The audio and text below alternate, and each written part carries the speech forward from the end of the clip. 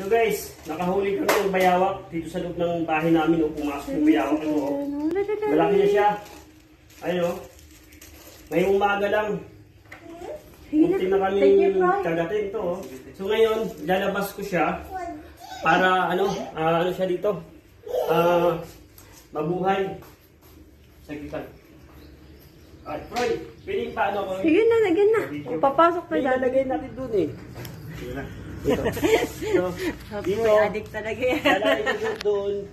Kasi yung ano nito, dito yung anak yung nanay nito dito eh.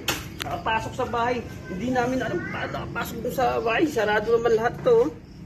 Bayawak. Grabe. Ayan. Lagay natin dito.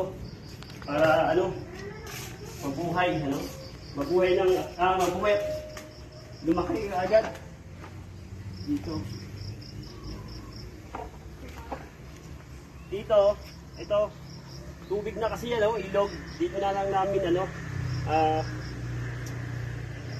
tawag dito, ah, ilalagay. Okay, dito siya. Okay, okay, ayun na, ayun na siya.